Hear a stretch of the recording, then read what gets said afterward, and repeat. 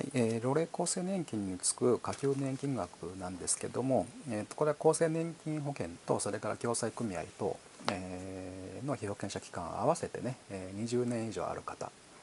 あるいは中高齢の特例に該当する方が、まあ、定額部分の、えー、受給開始年齢に到達したという時点でその方に、生計を維持されているまあ、あの60歳未満65歳未満の配偶者かですねあるいは18歳、年度末までの、子